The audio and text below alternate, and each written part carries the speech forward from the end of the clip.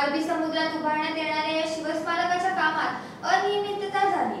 त्यामुळे या कामाचे राज्याच्या महालेखापाल यांच्या मार्फत विशेष ऑडिट करण्याची विनंती सार्वजनिक बांधकाम विभागाने केली. अरबी समुद्रात भव्य दिव्य असे शिवस्मारक उभारण्याचे राज्य सरकारने जाहीर केल्यानंतर त्यासाठी आवश्यक असलेल्या पर्यावरण मंत्रालयाच्या परवानग्याही घेण्यात आल्या. पण त्यांच्या कामात अनंत अडचणी येत असल्याचे दिसत आहे. सार्वजनिक बांधकाम विभागाने कॅगच्या महाराष्ट्रातील प्रधान महालेखापालांना पत्र पाठवले असून या महत्वाकांक्षी प्रकल्पामध्ये अनियमितता झाल्याचा दावा केलाय. सात मार्च दोन हजार एकोणीस रोजी पाठवलेल्या या पत्रात त्याचे स्पेशल ऑडिट करण्याची मागणी करण्यात आली आहे. सार्वजनिक बांधकाम विभागाचे मुख्य अभियंता डी पी सरोदे यांनी हे पत्र लिहिले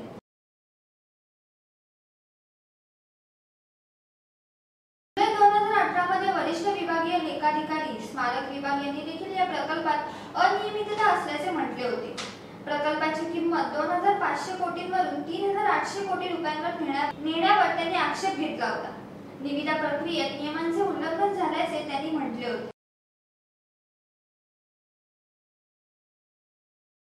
सव्वीस फेब्रुवारी रोजी अकाउंट्स विभागाचे अधिकारी विकास कुमार यांनी देखील पत्र पाठवले होते या पत्रामध्ये त्यांनी स्मारकामध्ये काही अनियमितता आहे ती कुठल्याही परिस्थितीत दुर्लक्षित करता येणार नाही असे म्हटले आहे विकास कुमार यांच्याकडे सध्या स्मारक विभागाचा अतिरिक्त कार्यभार आहे.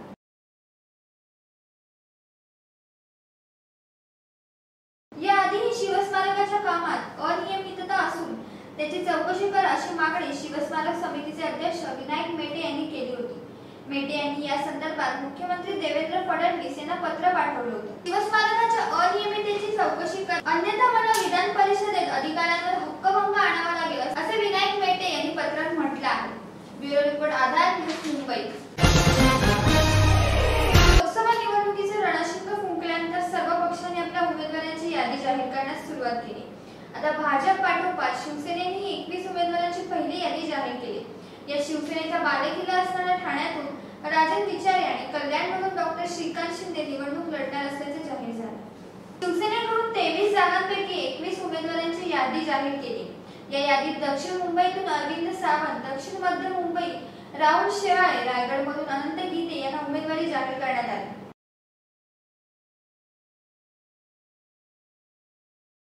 ठाण्यात राजन विचारे यांना उमेदवारी निश्चित झाली. येथे राष्ट्रवादीकडून आनंद परांजपे रिंगणात आले. कल्याणमध्ये शिवसेनेतून डॉक्टर श्रीकांत शिंदे यांना रिंगणात उतरवले यांना आव्हान आहे ते राष्ट्रवादी काँग्रेसचे बाबाजी पाटील यांचे. यामुळे या निवडणुकीकडे विश्लेषणाचे लक्ष लागलं आहे. प्रतिनिधी पूनम नलावडेसह आधार न्यूज मुंबई डेस्क काश्मीरच्या शोपियन जिल्ह्यात भारतीय जवानांनी दहशतवाद्यांमध्ये गेल्या चोवीस तासांपासून चकमक सुरू आहे. भारतीय जवानांनी चार दहशतवाद्यांना कंठस्थान घातले.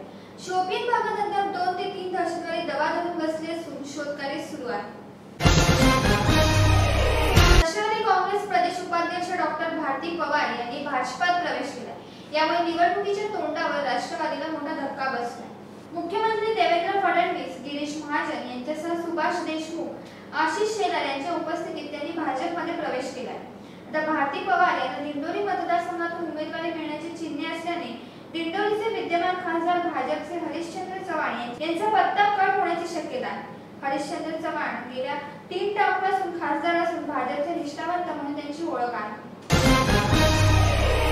अलिबागचे आया है क्या असे सर्रासपणे वापरले जातात आता ह्याच वाक्यावर बंदी येण्याची चिन्हे दिसू लागली. याच वाक्यावर आक्षेप घेत एका अलिबागकराने हायकोर्टात धाव घेतली. राजेंद्र ठाकूर असे याचिकाकर्त्याचे नाव आहे. तसेच पर्यटनाच्या दृष्टीने आणि तसेच अनेक थोरांची ही जन्मभूमी असूनही या ठिकाणाची बदनामी का केली जाते असा सवाल या याचिकेतून करण्यात आला आधार न्यूजमध्ये घेत आहोत छोटासा ब्रेक पाहत राहा आधार न्यूज।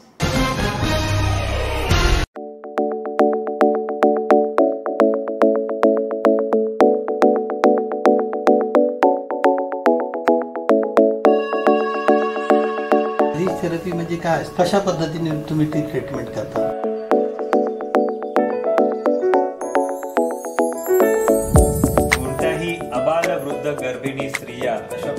कोणत्याही वयोगटातला कोणीही व्यक्ती आपण लीज थेरपी त्यांची आपण करू शकतो.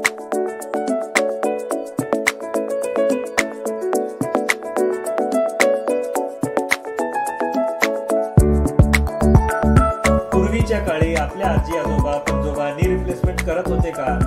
ते लोक त्यावेळेस आपले पूर्वज लीज थेरपी वापरत होते.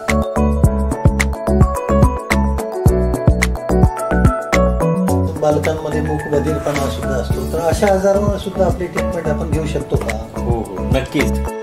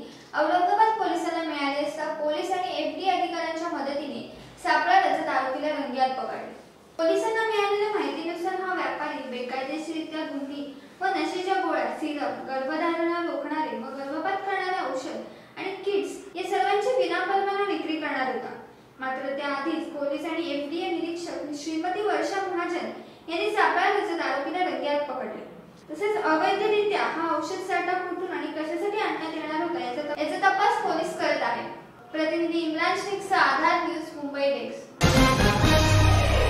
औरंगाबादेतील ब्रह्मगव्हाण उपसा जलसिंचन योजना रखडल्याने शेतकऱ्यांनी उभ्या पिकांची होळी केली. आता थापा नको कृती हवी असं ब्रह्मगव्हाण उपसा जलसिंचन योजनेच्या लाभधारकांनी होळी शिमग्याचे औचित्य साधून उभं पीक पेटवून शासनाचा जाहीर निषेध केलाय. रामनगर येथे शिमगा होळीच्या कार्यक्रमाचे आयोजन करण्यात आले. या निमित्ताने शेतकऱ्यांनी शासनाच्या नावाने बोंब ठोकत निषेध केला. चौकीदाराच्या नावानं! ची अत्यंत गंभीर परिस्थिती आहे. आणि या परिस्थितीमध्ये सरकारचं शेतकऱ्यांकडे माझे अजिबात दुर्लक्ष नाहीये.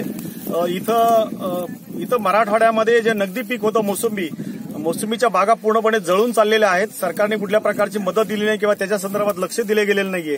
आणि या फळबागाचा जो विमा मिळाला पाहिजे तो विमा मिळाला नाही. दुष्काळाची मदत मिळाली नाही. चारा छावण्या नाही आहेत.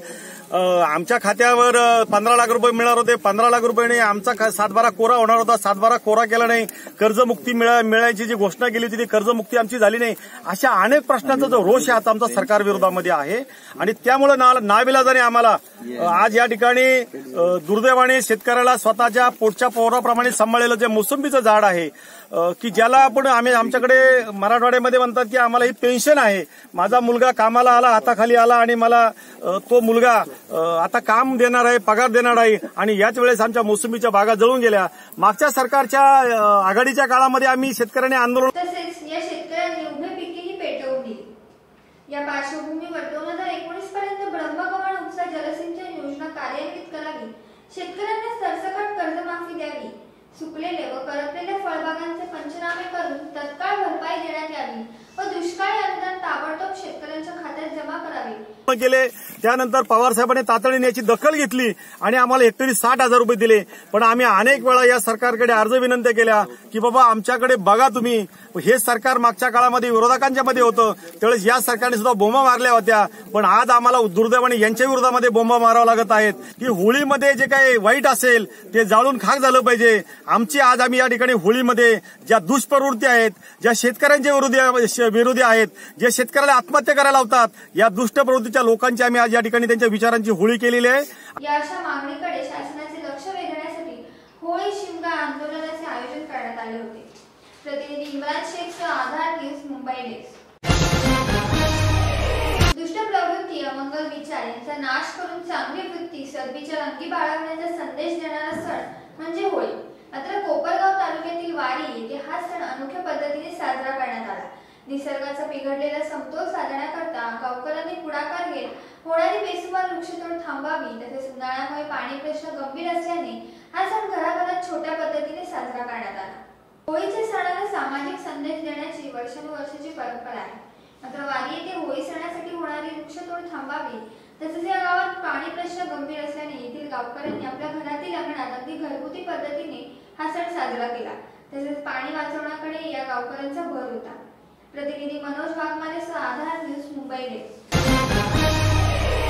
मंत्रालयातील सचिव पदावर कार्यरत असलेले विजयकुमार भागवत पवार यांनी घरगुती वादातून आपल्या पत्नीवर गोळ्या झाडून आत्महत्या केल्याची घटना समोर आली. विजयकुमार भागवत पवार मंगळवेढ्यातील मरवडे गावचे रहिवासी असून ते मंत्रालयात सचिव पदावर कार्यरत होते. घरगुती वादातून त्यांनी मध्यरात्री एक वाजता पत्नीवर गोळ्या झाडल्या आणि नंतर आत्महत्या केली. सोलापूर येथील खासगी रुग्णालयात त्यांच्या पत्नीवर उपचार सुरू आहे. विजय पवार हे तालुक्यातील पहिले जिल्हाधिकारी बनले होते नुकतीच त्यांची पोस्टिंग मंत्रालयात कौशल्य विकास विभागात झाली होती मात्र त्यांनी हे कृत्य का केले याचे कारण अद्या- अद्याप स्पष्ट झालेले नाही. पुलवामा येथील दहशतवादी हल्ला आणि त्यानंतर भारताने पाकिस्तानात केलेल्या एअर स्ट्राईकवरून पंतप्रधान नरेंद्र मोदी आणि काँग्रेस यांच्यात पुन्हा वाद उफाळणार आहे गांधी कुटुंबियांचे निकटवर्तीय सॅम पित्रोदा यांनी याबाबत वादग्रस्त मत प्रदर्शित केलं असून पंतप्रधान मोदींनी त्यावरून पलटवार केलाय. पुलवामा हल्ल्यावरून काँग्रेस आणि पंतप्रधान नरेंद्र मोदी पुन्हा एकदा आमने सामने आले. गांधी घराण्याचे निकटवर्तीय असून इंडियन ओव्हरसीज काँग्रेसचे प्रमुख सॅम पित्रोदा यांनी भारताच्या हवाई हल्ल्यात खरंच तीनशे दहशतवादी ठार झाले का असा सवाल उपस्थित केलाय. या हल्ल्यात कोणीही ठार झालेले नाही असं आंतरराष्ट्रीय माध्यमे म्हणत आहेत. त्यामुळे भारतीय नागरिक म्हणून मला याचे वाईट वाटते असे त्यांनी म्हटले आहे.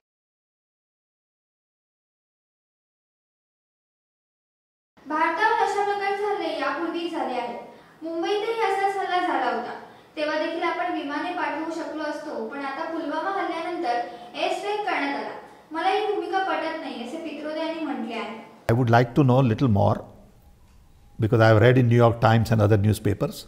What did we really attack? Did we really kill 300 people? I don't know that. As a citizen, I'm entitled to know. And if I ask, it is my duty to ask. Okay? That doesn't mean I'm not nationalist. That doesn't mean I'm on this side or that side. We need to know the facts. If you say 300 people were killed, I need to know that. We all need to know that. People of India need to know that. Okay? And then comes the global media and says that nobody was killed. I look bad as Indian citizen.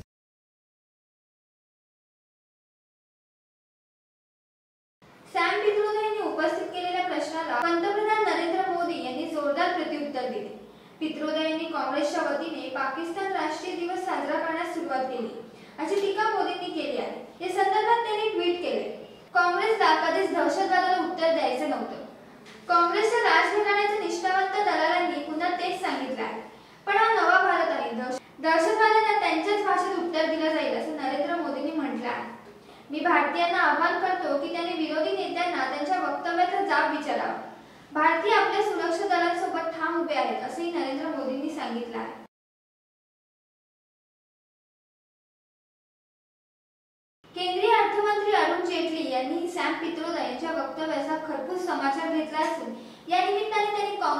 Rahul Gandhi आज का ये बयान Shri Sam Pitroda का ये दिखलाता है?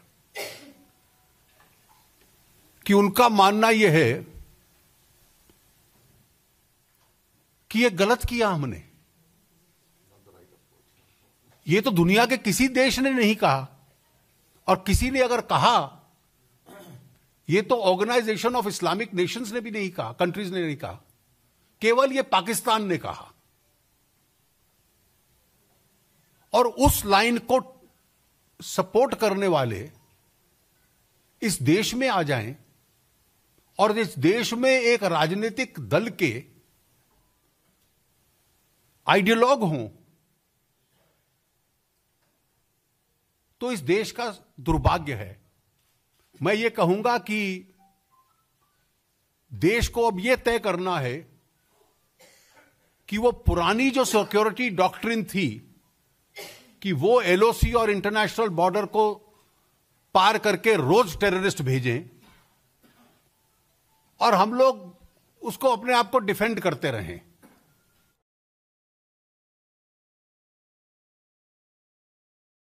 Rafale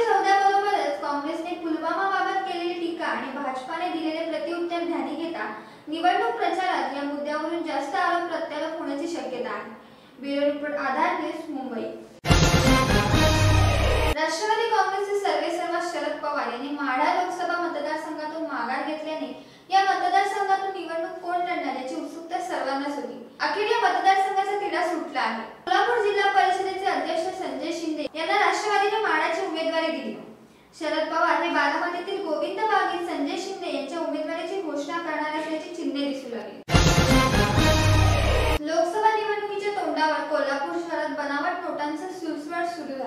शहर पोलिसांनी तब्बल वीस लाख किमतीच्या बनावट नोटा जप्त केल्या असून या प्रकरणी चार आरोपींना अटक केली कोल्हापूर शहरात बनावट नोटांचा सुळसुळाट सुरू झाला असून शहर पोलिसांनी वीस लाख किमतीच्या बनावट नोटा जप्त केल्या पोलिसांनी या प्रकरणी चार आरोपींना ताब्यात घेतलं असून त्यांच्याकडून नोटा तयार करण्याचे साहित्य देखील जप्त केले आहे. बाळू नायकवाडी प्रवीण गडकर गुरुनाथ पाटील विक्रम माने अशी आरोपींची नावे आहेत. त्यांच्याकडून दोन हजाराच्या चारशे छप्पन्न आणि पाचशे रुपयांच्या एक हजार पाचशे सत्तावन्न नोटा जप्त केल्या आहेत. तसेच या टोळीने अजून किती नोटा बाजारात आणल्या आहेत याचा तपास पोलीस करत आहेत. इंडियन क्रिकेट टीमचा आघाडीचा बॅट्समन गौतम गंभीर हा लोकसभा निवडणुकीच्या मैदानात उतरणार आहे. केंद्रीय मंत्री अरुण जेटली आणि रविशंकर प्रसाद यांच्या उपस्थितीत त्याने भाजपामध्ये प्रवेश केला नवी दिल्लीच्या सातही जागा भाजपाकडे आहेत.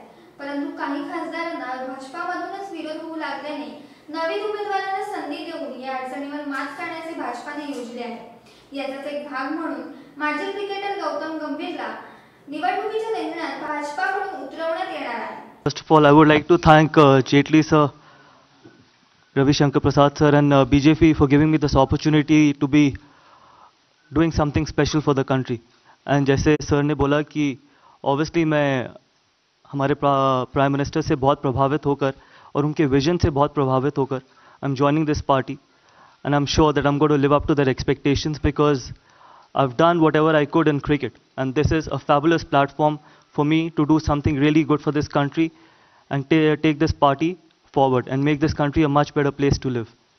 So I'm sure, जैसे sir ने मुझे बोला blessing, and uh, I'm going to try and do my best. And uh, thank you very much once again.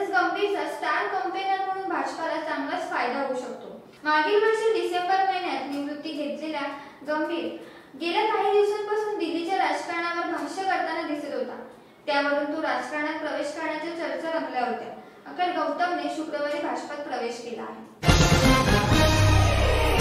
तर या होत्या आजच्या ठळक घडामोडी अधिक बातम्यांसाठी पाहत राहा आधार न्यूज तसेच अधिक माहितीसाठी W W W dot Aadhaar news dot in या संकेतस्थळी अवश्य भेट द्या.